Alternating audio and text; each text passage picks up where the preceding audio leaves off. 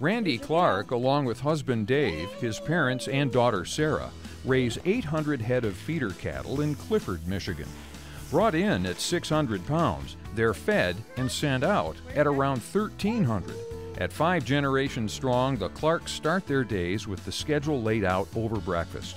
Then it's on to walking the herd in search of any animals in need and to get them used to humans. Then comes the mixing and distribution of feed, which couldn't be done without the help of one motivated two year old.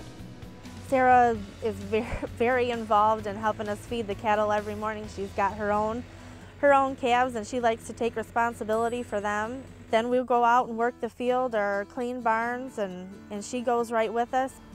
Randi and Dave have built a couple of new barns as of late and have incorporated air ventilation improvements for the sake of herd health. Just being able to get that steamy air out and the fresh air in, uh, whether it's winter stifling or heat in the summer, the air quality improvement in the barns has made a tremendous difference in the happiness, the quality of the cattle, I believe. Um, the other thing we've done is put an insulation liner in the top of our barns, which keeps them cooler and keeps them warmer.